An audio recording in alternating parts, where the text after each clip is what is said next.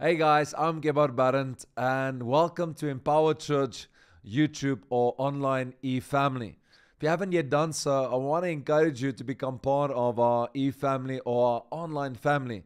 And I want to encourage you today to, well, first and foremost, hit that subscription button and uh, become part of the family. Secondly, hit that bell button, and in doing so, you will never miss a teaching, a sermon, or anything that we are doing across South Africa and across the globe. Then also, I want to introduce you to my new website, www.gebhardtberndt.com. And there will be a pop up that will appear right now. And for convenience sake, you can just click on that and that will reroute you to our website. And I want to encourage you to partner with us. Partner with us in the gospel of the Lord Jesus Christ. Partner with us as we take the message of Jesus to the ends of the earth and doing our share in seeing people coming to Jesus.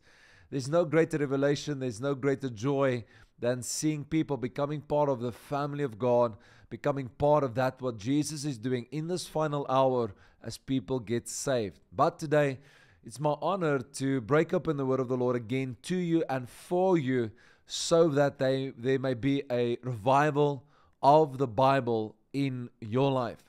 And I want to speak to you about Ephesians chapter number 2, and we're going to go to verse number 4. I want to explain to you grace. I want to explain to you the grace of God, and I want to go into depth about what is the grace of God. And there's a lot of a lot of hidden truth secrets, I want to say, and golden nuggets that the Lord puts in the scripture for us. And it's our great joy to go and see what the Lord has said to us and is saying to us still about his unchanging word. So, Ephesians chapter number 2, verse number 4 says this But God, who is rich in mercy, because of his great love with which he loved us even when we were dead in trespasses, verse number 5, even when we were dead in trespasses, made us alive together with Christ. By grace you have been saved. Please note that. And raised us up together and made us sit together in the heavenly places in Christ Jesus. Now, verse number 4 is very important for us. And I want you to see there right from the start, it says the words, but God. Now, when you see the words but God, nevertheless, or for example, the word therefore, it is a place of transition. In other words, the writer is transitioning. He's about to introduce you to a very important topic. In other words, whenever you see these words, but God, therefore, or hence, or very, very, this is very important places in the Bible. And you can literally take a highlighter pen, and whenever you see this, you see these words, but God, therefore, you need to underline that and you need to note what the writer is going to say next because what he's about to say next is very important for us. And listen to what he says. He says, But God, who is rich in mercy, because of his great love with which he loved us. But God, who is rich in mercy. Now, I want you to underline that word mercy. That word mercy means to do something for someone that they can't do for themselves. Again, I say it means to do something for someone that they can't do for themselves. So, when the Bible says God is rich in mercy, it means that God did something for us that we couldn't do for ourselves. What couldn't we do for ourselves? We couldn't save ourselves. And because we couldn't save ourselves, God had to have mercy on us. But now I want you to see something for be well, something with that. And it's simply this. Um, and I'm going to read again. Who is rich in mercy because of his great love. I want you to see God had mercy because of his love. In other words, you can understand it like this God demonstrated his act of mercy and his act of grace because he is in love. Or another way that I can say this like this God will demonstrate his power because he is in, lo- in love. Liken it to an example, and I want to create a, a picture for you that you can catch the understanding of what the scripture means in depth. If a child of mine falls into the water and they are in desperate need of help, I will exercise all of my power because the object of my love is in trouble. My child is in trouble. And because my child is in trouble, I will exercise all of the necessary power to rescue, save, and safeguard them. Hence, the scripture needs to now become even brighter for you. It says this But God, who is rich in mercy, because of his great love. In other words, God is in love.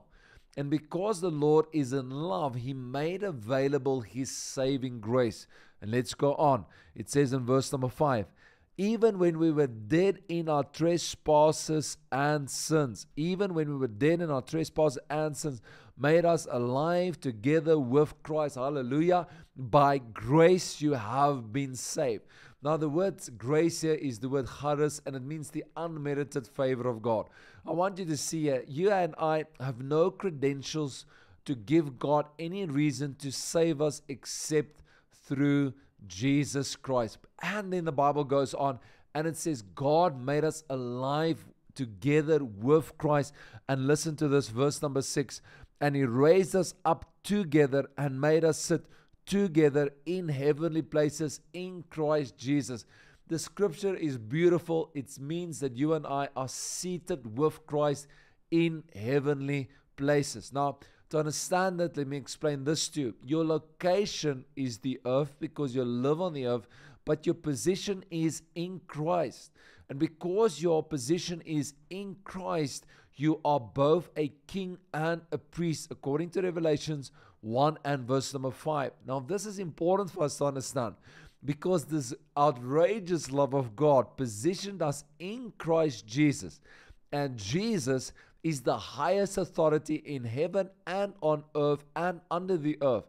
In actual fact, the Bible says, and his name every knee shall bow and every tongue shall confess that he is Lord.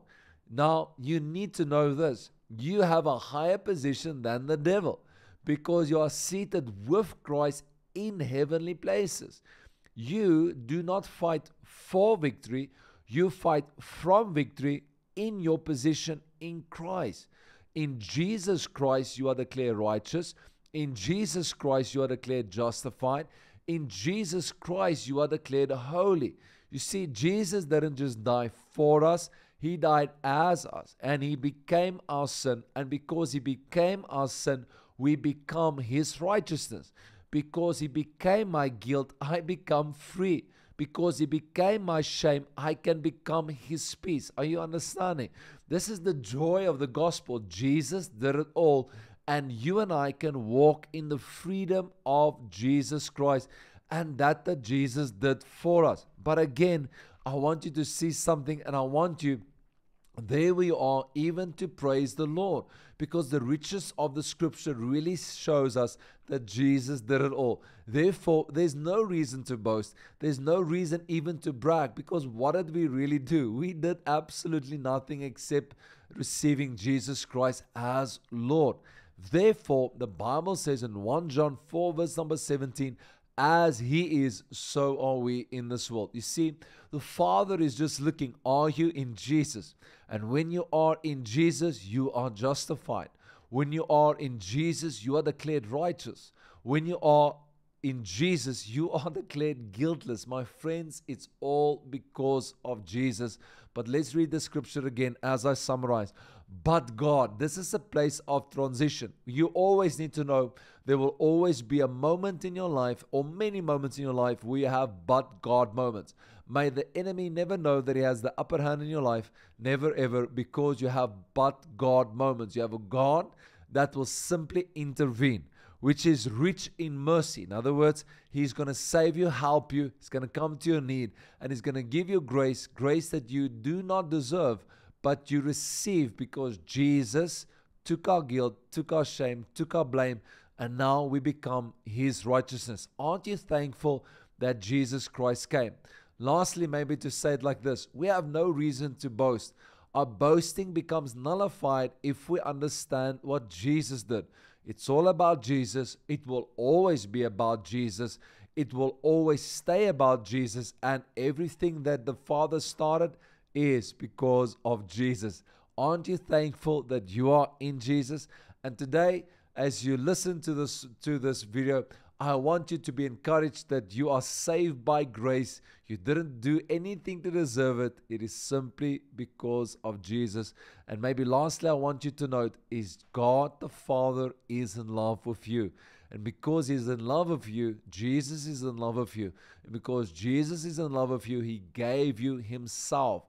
And because He gave you Himself, when He removed or when He went to the Father, He gave you His Spirit.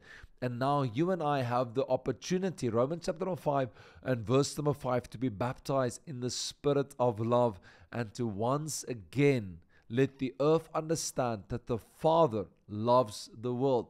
The Bible says that God so loved the world. The Bible does not say for God so loved the church. No, He empowered the church, but He loved the world. And because He loved the world, He empowered the church. The church is the ecclesia. Ek means out, kaleo means called. Put those two words together, it means the called out ones. You and I are the called out ones, but God wants the world.